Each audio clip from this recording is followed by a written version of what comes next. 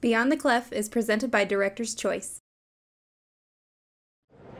Hello and welcome to Beyond the Clef live at TMEA 2018. I am here with Stacey Dunn. Thanks for being on the program, Stacey. Thank you for inviting me, David. I appreciate it. Yeah, well, now, Stacey, uh, you're best known for your time at Southwest High School in Fort Worth ISD. And uh, right now, though, you are retired. Congratulations on that. Thank Just you. recently retired. Thank you. And uh, you are the uh, music, I got to get administrative music specialist in Fort Worth ISD. Yes. Yeah. And yeah. I'm, I'm loving it. cool. I We- did 17 years at Southwest High School. And uh, after retiring, eight weeks later to the day, started as a music specialist in Fort Worth. And Well, so it's a great we- opportunity because I get to help, you know, band directors, young band directors, and help them, Sure, you know, sure. whatever needs to be done administratively. Because sometimes, you know, we hit walls. Right. sometimes that teacher, you know, they're in a situation where they're teaching mixed classes, it's on a A B schedule, they see half the kids on one day, and they need antidotes to make that program amazing. Right. And then once they're there long enough, they become a band institution, and then they get to shape the program. And so, just in a nutshell, I encourage people to stay in a job, stay there long enough where you become the leader of that program and don't run away. You know, make your rainbow. I tell guys this all the time. You know, don't look for the rainbow, make the rainbow. There is like the grass isn't greener on the other side. You, I like you- that. You got to water the lawn. Well, we were actually talking with uh, Dick Clardy recently about you and what you guys are doing, your whole team, and uh, I really like that what you said, make the rainbow, because that's what you've you've done at Southwest High School, and you seem to really have a passion for that. Can we? I want to talk a little bit about your time uh, here with um, Fort Worth ISD and mentoring uh, teachers and going through that. So tell me a little bit about your duties there, and then also uh, what you- what you think that. Um, how you can implement make the rainbow with your with your Yeah, current students. I'd love to share that with you yeah, because uh, my current students are educators. right. And so That's what Barbara Lambert. We had her on just recently as well, and she was saying the same thing. Oh, I, I've stolen so much from her. I, Yeah. I'm going to give her credit right now. Sure. Barbara, God bless you. Thank you. she uh, is amazing. And so what what I'm doing in Fort Worth, the way I see it, is first of all, I'm, I'm giving guys hope because some of these schools, inner city schools, they're almost feel like they're in hopelessness. I mean, it's they're they're going to work by themselves. There's no assistant. If it's a brass guy, he's by himself. He's doing woodwind, percussion, and it happens all the time in in our district. And so what I'm trying to do really is utilize staff in a cooperative way in vertical alignment. And if I could help our administration understand this, we could do so much more. So, meaning that rather than being alone with 60 students, imagine the classroom. I mean, we're trying to keep student classroom sizes to 20 for teachers, but we expect the band director to go in there with 60 to 80 and be successful. And what I'm trying to do is say, hey, I got a guy over here that's a woodwind teacher, a guy over here that's a brass teacher. Let's let them cooperate together within their pyramid. And now you go into that band rehearsal with an assistant. And so you're a brass man teaching brass in class, but you got the woodwind guy, maybe from the sixth grade, going in and helping cooperative teaching. And when they're done, they have a discussion in the office about how they can help each other, what we need to do. And it's encouraging. And when I have a problem, I have someone to share it with. Yes. And we get to come up with antidotes together. And so that's my goal for them is try to help them to utilize staff in the most effective way possible. Secondly, I like to talk to them about I, I don't believe you look for the perfect job. Now, I think you can be wise in your choice of where you go. But I also believe, you know, a lot of young teachers are out there like looking for the rainbow. You know, I want to find the perfect job. Uh, Or, you, you're in a job and you think the grass is greener on the other side, okay? It isn't. It isn't. You can go to a new job and there, there may be professional conflict. Maybe someone puts you down in that new job. It's a great spot. And there's all kinds of problems that occur. Uh, so, anyway, I like to tell them to make the rainbow. And my number one motto, I have to say this in this podcast, and I've lived by this, and that is, and this is painted on all my band hall walls results, not excuses. And so I look at, at my kids, and you create, like Barbara says, and like so many other directors say, you're creating this culture of excellence in these programs. So, what I'm doing with the people I work with, and I have great people that that I'm helping, and they're going through a lot of tremendous hardship. And so I'm just saying, hey, results not excuses. Uh, you know, another antidote. I'm full of these. Is how do you eat an elephant? It seems impossible, but one bite at a time. And so we just look at everything, we line it up, what do we need to fix, and let's go at it. And then stay there long enough where you're an institution, where, where Mr. Dunn runs the band program. And you can't expect that in the first nine months. You can't expect that in the first 18 months. It's going to take you staying there, working hard, them seeing you work hard, overcoming obstacles, making no excuses. And I'm going to tell you, three, four years in, you'll be the institution of that school. They'll see you're helping kids, and then you get to create the rainbow. And then they're like, well, Mr. Dunn, what do you need us to help you do?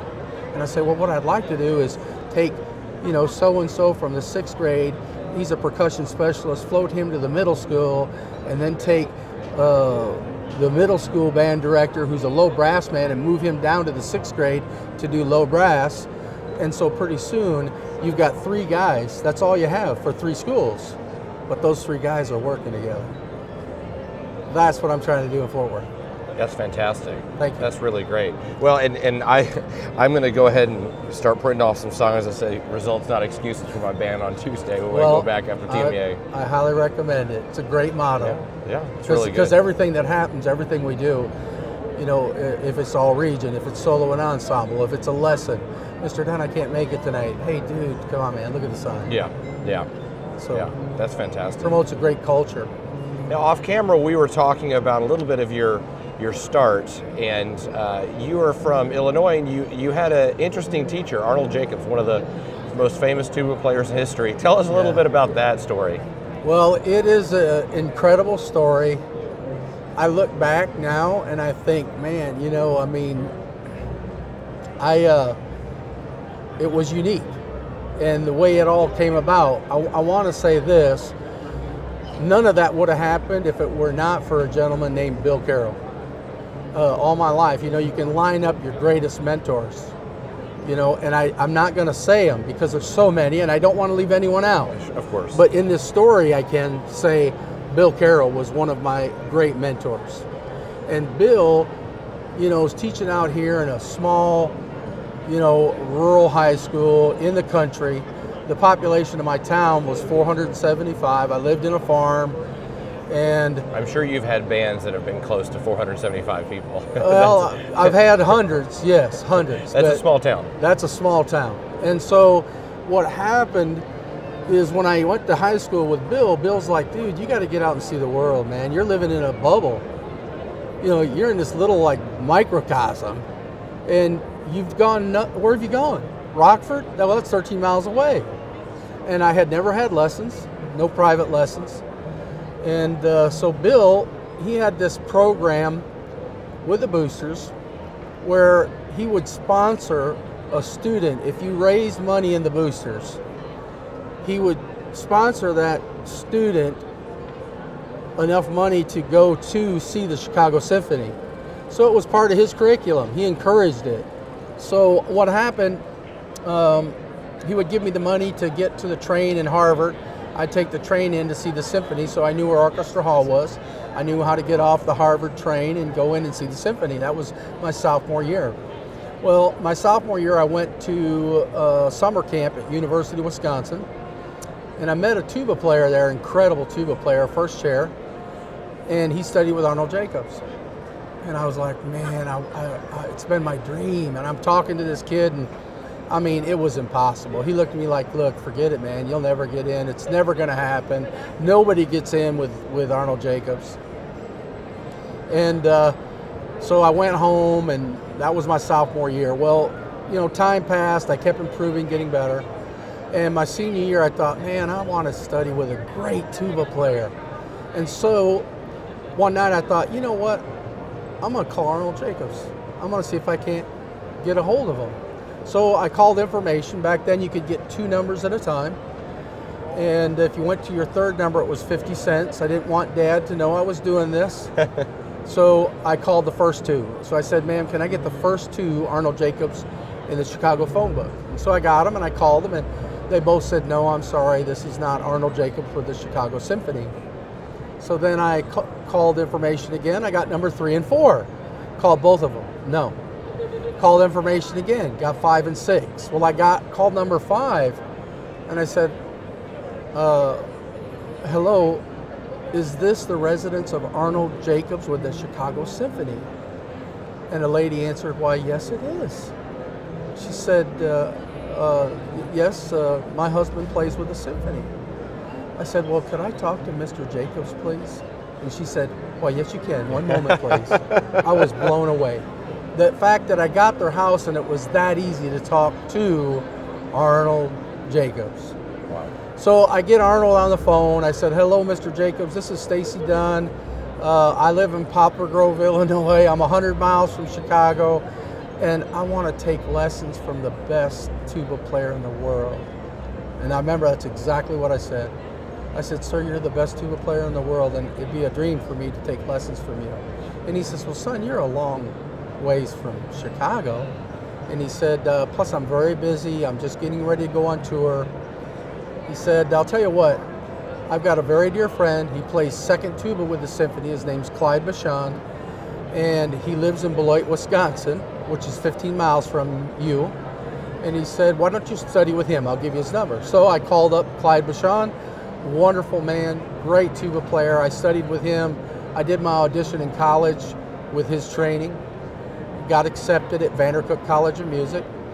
And six months to the day, I call Mr. Jacobs back. I said, hello, Mr. Jacobs, this is Stacey Dunn. I said, sir, you remember me? You told me to call back after you got off tour and be gone six months. I said, sir, I want to take lessons from you. You're the best tuba player in the world, and I want to study from you. And he says, Well, son, uh, you know, I am really busy. My, my schedule's completely full. He said, uh, You know, why don't you call me back in a couple weeks? So, two weeks later, I call him again. I says, Hello, Mr. Jacobs. This is Stacey Dunn again, sir. He says, he says, Son, you are the most persistent young man I have ever talked to. I mean, you just don't give up, do you? I says, Well, no, sir. He says, Well, can you come in tomorrow at 10 a.m.? And this was a Friday night. I called him. I says, Yes, sir, I'll be there. And he says, All right, well, I'll see you at 10 o'clock tomorrow morning. Well, I was lost now. I don't know. I knew he taught, you know, in the Fine Arts building next to Orchestra Hall. That's all I knew. So, Did your uh, parents know about Institute, this? No, they didn't know anything. no. And they didn't know I went for my lesson, my Oh, first man. lesson. So I drove my car to Harvard. I got on the train with my tuba. Uh, went in there, got off on Michigan Avenue, found found the Fine Arts Institute, looked for Arnold Jacobs, and I got there up to his room, and this guy comes out in a parka with a French horn, and uh, he's from Austria, and he says, uh, you know, I, I, and he had a like a mocha in his hand, leaving the room, and I open the door, and there's tubas, tubas, tubas, you know, TV screen that microphone to, to analyze your sound, uh, breathing machine, see how many liters of air your lungs hold. And I walked in, and it was just like, you know, to me, a part uh, of, wow, this is my first lesson with the best tuba player I know in the world. And so I go in, we sit down, we have a lesson, and from that day on, I mean, I could call him Friday night and get a lesson Saturday. It was nothing. It was it was it. Wow. So, and I, I kept continued to my lessons. It was wonderful. Now I went in playing on a B flat tuba. Um, I do want to tell tell you this is it is interesting. I uh, in my lessons, I, I never forget this. My first lesson. Imagine if you want to know how green I was. Now I, I could play. I had an ear. I could hear, and so when he talked wind and song, oh my gosh, I was just like, that's it. No one ever said wind and song.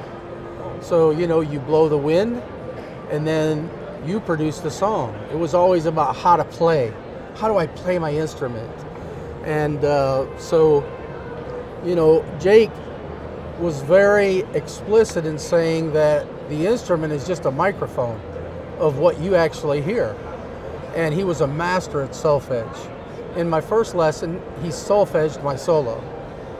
And I was like, what the heck?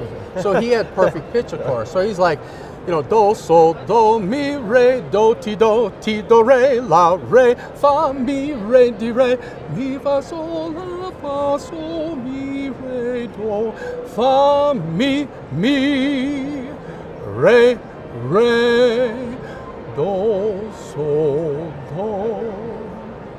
And he would do his solfege in style. Wow, that's fantastic. So I became a student of solfeggio, okay. big time. I use it in my class, I use it with my students. I call it a vocal play. So I have the students sing like do, do, do, and release on four, horn, play. So I'm trying to get the brain to cross out of the feel and move into the song. Okay. Okay, and that's when my life changed musically. So now notes were no longer valves, notes were no longer um, instrument, notes were no longer the mouthpiece. The, the, all it is is the music, all it is is the sound. And so that's how you, you are sitting there with your tuba and you play, you know, a high E above the staff and you just play it because you hear the note and you're not trying to play tight or loose or whatever. So that's where Jake was incredible. And also with how many liters you're getting, learning on expanding your lungs. And then of course the first electronics I'd ever seen was the this TV screen that when you would perform would show as you play if you were stopping the air or if you had fluidity because the fluidness is critical. That's so important to, to accuracy. Anyway, so I got to do all these lessons and finally the day came, he's like, Stacey, look, you've really advanced. I did try out for the Civic Orchestra Chicago. And uh, my third time, I made it. so, and it was fascinating. I mean, you know, um, but he said, Stacey, you need to get a C tuba. So, uh, in my one of my lessons, he says, Stacey, listen, Fred Geib's wife called me. She's trying to sell Fred's tuba uh, from New York, and he said it's a great Conn CJ5, four valves here, uh, one in the left hand, and he said uh, it'd be a great choice for you. It's an amazing tuba. So I went home, you know, from the lesson, got the money together, got ready to go in for my lesson, and then Friday night, Jake calls me at home, and he says, Stacey, he said, I know you're coming in for your lesson tomorrow to get your tuba, but he said, I want to talk to you about something. He said, a very, very dear friend of Fred's, who studied under Fred Geib, has called me and asked to purchase the tuba. It's very important to him. And every fiber in my 17 year old body said no. But I thought, wow, you know, if this were Jake's tuba, and, and I want, you know, this opportunity, I would have to let him have it. And so I told Jake, let him buy it. And so the next morning I went in for my lesson, 10 o'clock. I'm sure I looked like a little sad little puppy dog. Had my B flat Meinl Weston. And 10 minutes in my lesson, he reaches over, grabs his Rudolph Meinl, and he says, Here, Stacey, play this. And so that's the first time I played on a C tuba. It was Jake's C. And I played through my lesson with the C tuba. It was unbelievable. This horn was amazing. And in the end of the lesson, Jake looks at me and says, You know, I feel so bad about Fred. You know, if you want, I'll let you buy this tuba. and so uh, next time I came back, I brought the money in and I bought the tuba, and I owned that tuba for 26 or 28 years, excuse me. 28 years I owned that tuba. And then I finally sold it about, I'm going to say 10 years ago. And then I bought Matt Good's tuba with the Dallas Symphony. And he that's a Hirsbrunner. So, and I love the Hirsbrunner I'm on. It's a 1985 made by Peter Hirsbrunner. I love the passing the torch symbolism in the tuba world with these tubas. These these really cool. they're tools, but they're so special. And the young man that bought it from me, I put it on TubeNet. I had hundreds of emails within three hours. And there was a young man in Texas that was going into music, and he brought with him Arnold's book, Win- Song and Wind. And uh, I knew when this young man played the tuba, he just loved Mr. Jacobs. And I thought, man, this is where it's got to go. So I didn't try to make a lot of money. And I gave the young man my receipt because I, I had Arnold's signature on the receipt for the tuba I bought.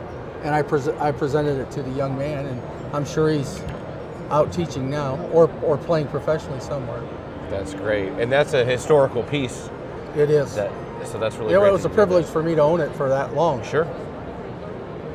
Other lessons from your lessons with Arnold Jacobs.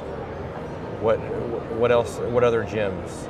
Well, in my first lesson, this was shocking.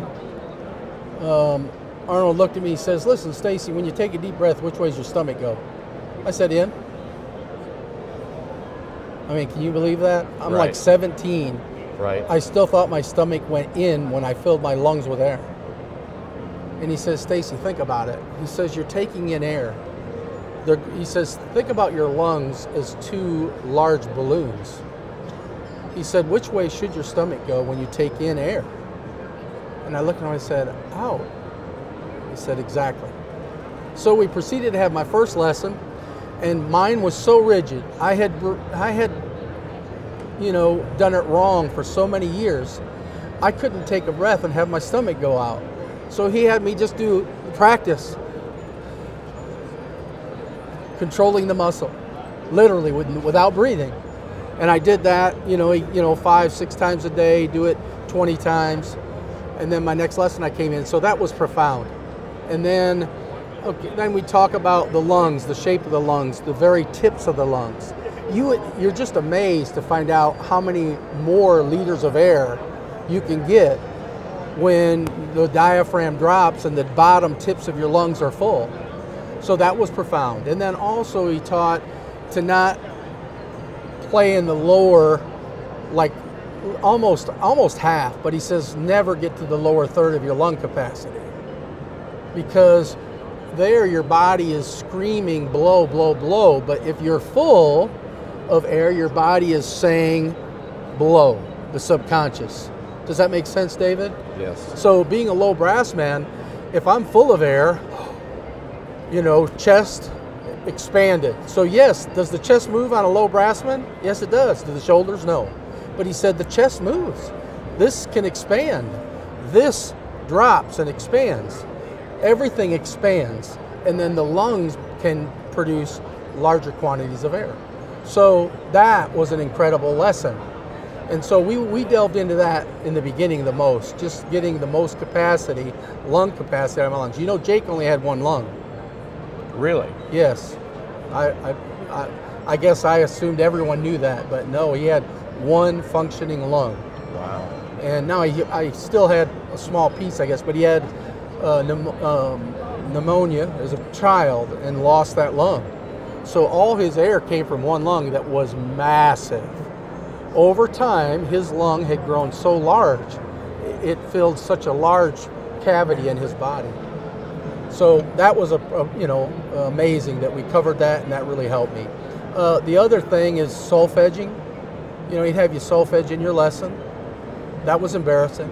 Yeah. So whenever I would bring in music, I would practice the music, way, you know, and have it down, you know, to try to impress him.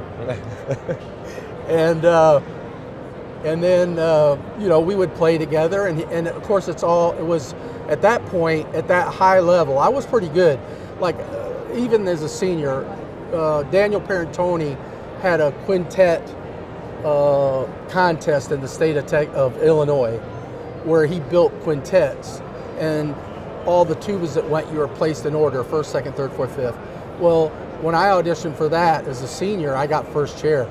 So I was in Daniel Perantoni's brass quintet down at University of Illinois. So it wasn't like I couldn't play. I understood song, I had an ear, but I didn't have that ear. That man, I'm telling you, could solfege anything, anything you put in front of him. So, uh, so that's what was profound is understanding that music is produced.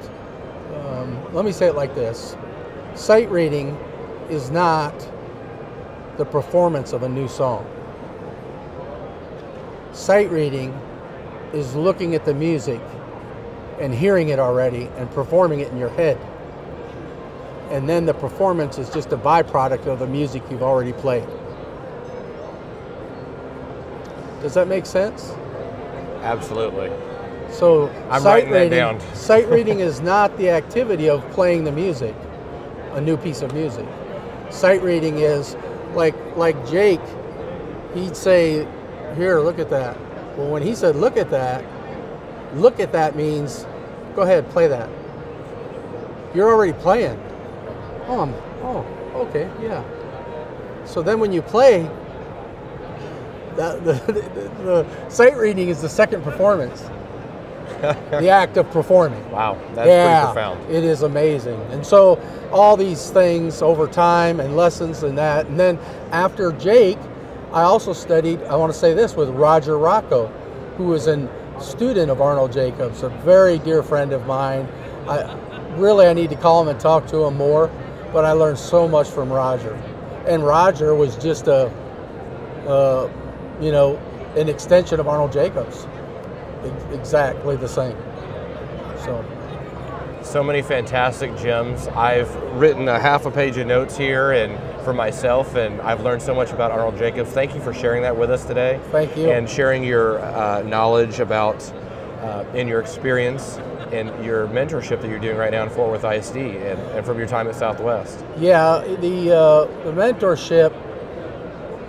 It's so fun, you know. Change is is renewing. You know, change is renewing. Like when I went to Southwest, my first two years at Southwest, I actually was the woodwind teacher. So I didn't I didn't tell the kids if they ever see this, they'll remember this. I told them that I was a all-state bass clarinetist. and I worked up three lines of the all-state clarinet. I bought an E11. I practiced all summer. And I just did three lines of it and I played the heck out of it. And that was the only time I played for the Woodwinds was those three lines. And from that day on, they listened to everything I told them at Southwest. And so for two years, I taught woodwinds. I had two all all-state clarinet, Region Five, in my second year at Southwest, and then my third year, uh, I hired William Owens. So Willie and I are dear friends. Willie and I pledged a fraternity together at Vandercook, and we went back to the very beginnings. And Willie's taught with me a couple times. Amazing man, full of energy. And then he took over woodwinds. And then I remember announcing to the band that really I'm a tuba player. you should have seen all the woodwinds like I was a traitor. So, but now I said that change is good. I say change is good because after 17 years I taught woodwinds and it was inspiring. I, lo- I had a blast. It was like brand new band director. And then I taught 17 years at Southwest. And then this opportunity came about uh, again because of an amazing man, Dick Clardy. You know, Dick has come into Fort Worth like a storm.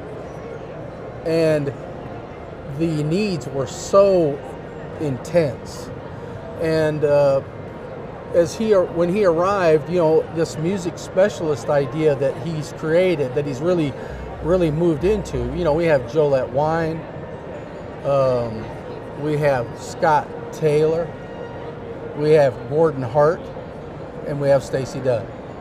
So these four individuals personally go around on a weekly basis to help mentor, listen to, advise these people. And that strategy that Dick's put in place is incredible. And you know, Dick, uh, first time I heard Dick Clardy's band, he says I always make this story bigger than it is.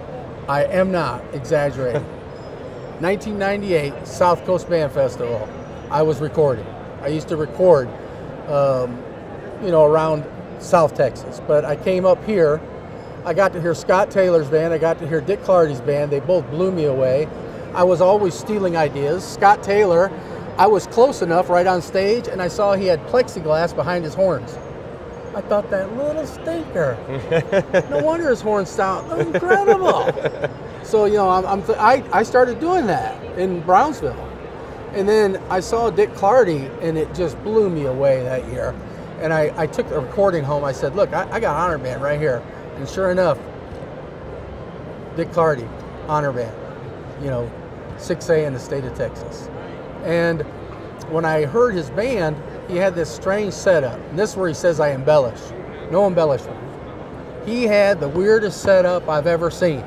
And I'm contemplating in this thing, it was amazing. I'm thinking, I wonder if I should use this. Well, and I didn't.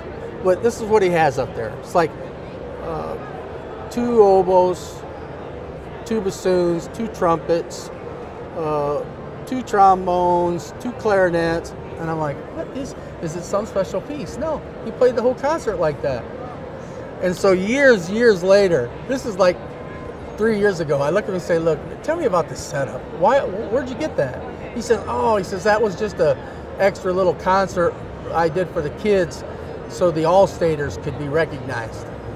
Dude, I'm like, the whole front row was All-Staters. Wow. Now, now he'll say to me now, he's like, no, no, no, no, but that's Dick. He, you know, he's a master organizer, a great man to work for, and and demanding. You know, he's a results, not excuses man.